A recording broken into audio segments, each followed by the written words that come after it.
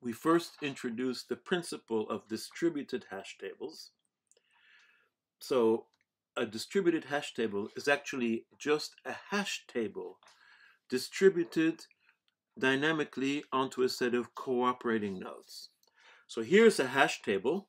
Here on the left, we can see a hash table with keys and values. And normally, you know hash tables could be stored on one machine. But here, we're storing the hash tables on a set of nodes. We're distributing the hash table, so each node, A, B, C, and D, will store part of the hash table. And then we provide a lookup operation. That means any node, you can look up any key in the hash table. If you look up a given key and it's at the node where you're at, you get the value immediately. But if it's not at the node, you will do routing. So each node has a routing table and it has pointers to other nodes. So when you look up a key, then if it's not at the node where you are, then you will route to the node where it is. And so you can look up a key from any node. So for example, if I'm on node D and I do look up 9, but 9 is not stored at D, it's stored on A, then the system will do a routing.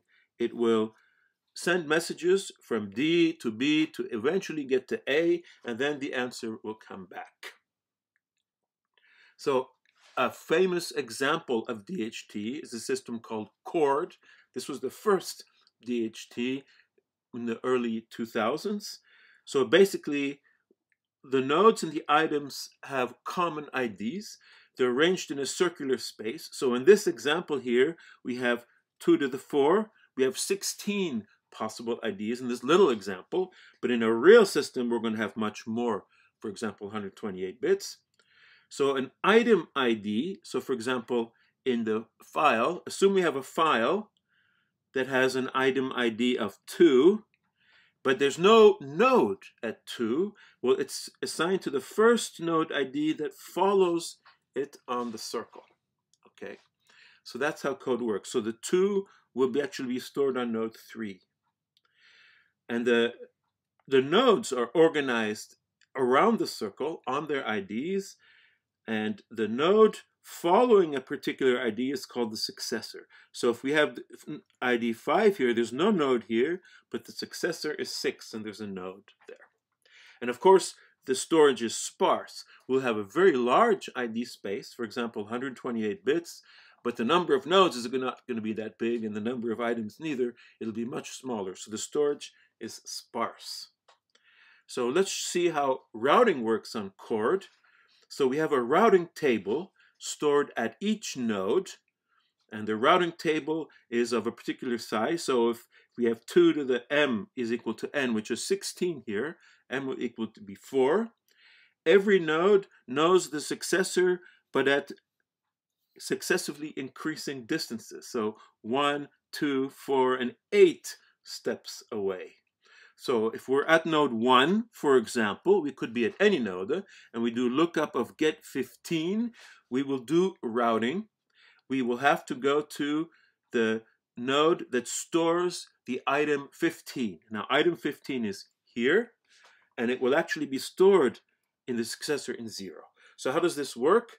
So we will do a hop now. We will go from one node to the next node, so the first hop that we will do is going to node 9 because it's the biggest hop that we can do, which is still less than 15. Then the next hop we will do, if we go, now we're at node 9, and we have also a routing table at node 9 with these four green arrows. Now the biggest one will go too far. It's beyond 15. So we go to the biggest one that is less than 15. So it's the one that goes to 13. But because there's no node at 13, it will actually go to 14. So now we're at node 14. We still haven't reached node 15. We have at node 14 these violet arrows. We have its routing table at 14. And now we look and all of them will go too far except for the first one. The first one goes to node 15, but since there is no node stored at place 15, it will actually go to the next place where there is a node, the successor, which is node 0. So that makes a three hop routing. Okay, from node 1, we will do one, two, three hops. We will arrive at node 0 where the item 15 is stored. And for 16 nodes, the maximum number of hops will be log base 2 of 16, which is 4. So that's the way it works. Now let's take a look at all the systems that do this. Looking at general peer-to-peer -peer systems, we have talked about unstructured ones. Remember we talked about Napster and Gnutella hybrid and fully decentralized. There are other variations, for example, Kazaa in the unstructured. And then we're talking about now the structured ones, the distributed hash tables. So I showed Chord as an example, but there are many others, CAN, Tapestry, Pastry, for example. And if you look at them, there's a whole jungle of different possibilities. So here is a table of some of these peer-to-peer -peer systems according to some of the properties they have.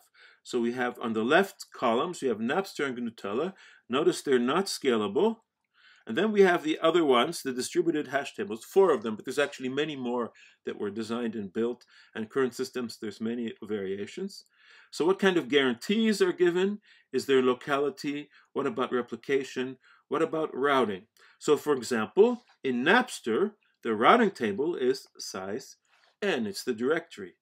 Now, in uh, to read an item, though, it's very fast. You just have to do one read. Whereas in Gnutella, the reading is very slow because you're doing flooding. In the worst case, you have to look at all the nodes. But insertion in Gnutella is very fast. It's also very fast in Napster. Insertion in um, new nodes, if you want to insert a new node in Gnutella, it's slow. But if you want to insert node in Napster, it's fast. You just have to tell the directory.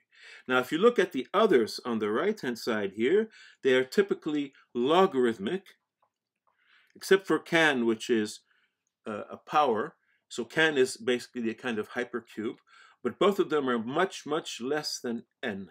So the distributed hash table gives you a logarithmic behavior. So now let's take a look at this, these systems, the research issues. Let's say we want to build a DHT. How, how do we do it? We need some, some, some solid foundation. So we need a framework. We need uh, to see how to maintain the structure. We need to see how to do queries, maybe not just lookup. We need to see how to do other kinds of services. And then there's other things, heterogeneity. What if some of the nodes are very strong and some of them are very weak, like super peers? What about locality?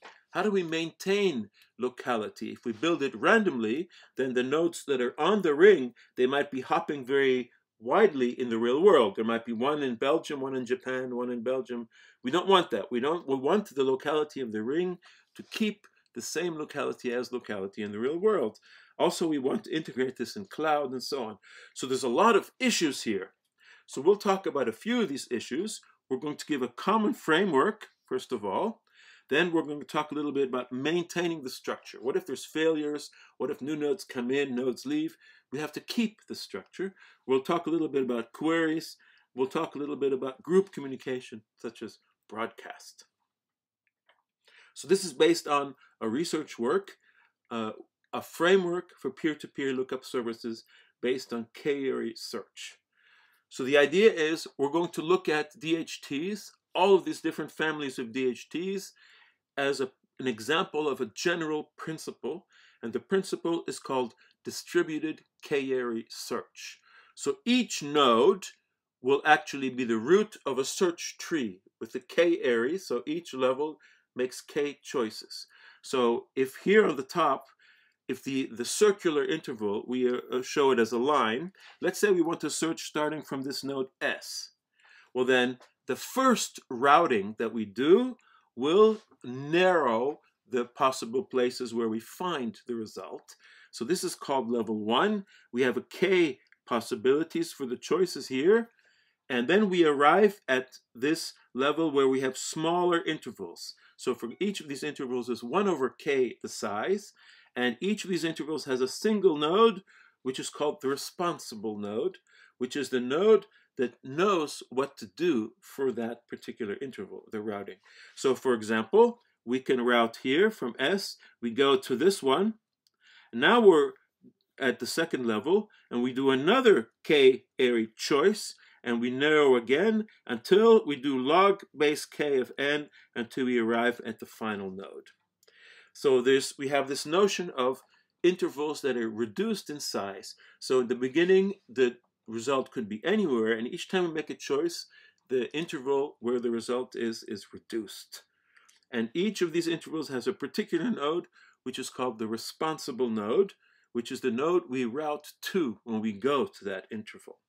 So all of these different family of uh, DHTs that we saw, Chord, pastry, tapestry, kademlia, they are using this basic principle, but with some variation. But the basic principle is the same, uh, where you have intervals and it's converging to the result. So we have n nodes.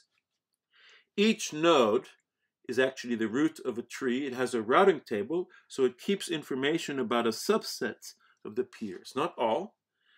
And then there's a trade-off, okay? If you store more information in each node, then the routing will be faster and the route and the number of hops will be less. So there's extreme cases. If it's the system is small enough, then each node can keep information about all peers and you only have single hop. But if it's very huge or just an extreme case, if you keep information about only one peer, then you will actually be doing a sequential search. So you can actually make a relation between three important values. So we have n nodes, we have the lookup path length h, and the number of routing entries stored per node. So the size of the routing table per node. So for example, the num the maximum path length is log base k of n. Also the routing table is k minus 1 times log base k of n we have k minus 1 neighbors because if you stay where you are, you don't need a log entry. So with this, you can actually make a relation between these three values. And you can see what kind of trade-off you have. If you want to have a, a, if you want decrease the size of r, you will need a bigger h, for example. If you have a bigger r, then a smaller h will be fine. So in this framework, the chord system that we looked at is actually doing binary search. So remember in chord we have this, at each node we have four routing entries.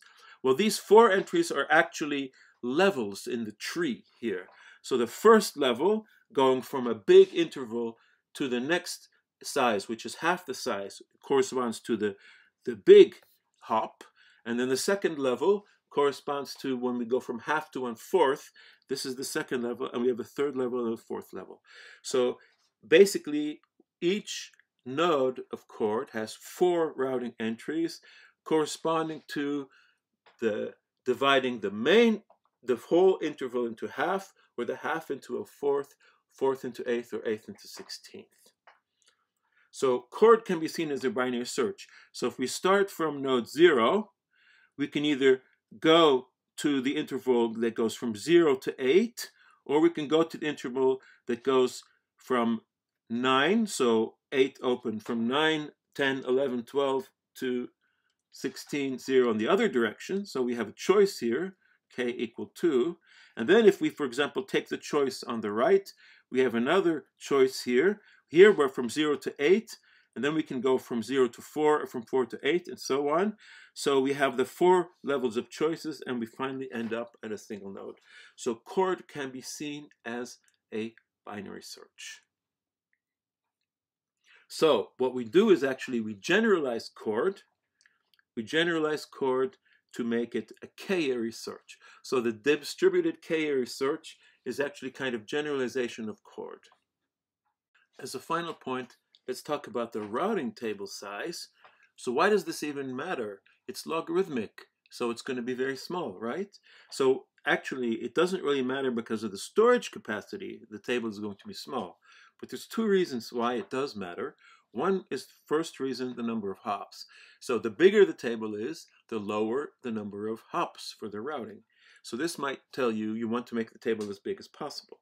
But there's also a second reason, the effort needed to correct inconsistencies. So here we have to be worried about the dynamicity. New nodes are coming in all the time. Nodes can be failing. This is part of the normal operation of a DHT. Uh, it's a large dynamic system. So whenever there is an error, something happening, we have to correct the routing table because the old routing table is wrong. And the bigger the routing table is, the more effort we need to correct it. So these are two opposing uh, forces, and we have to find a good trade off between them.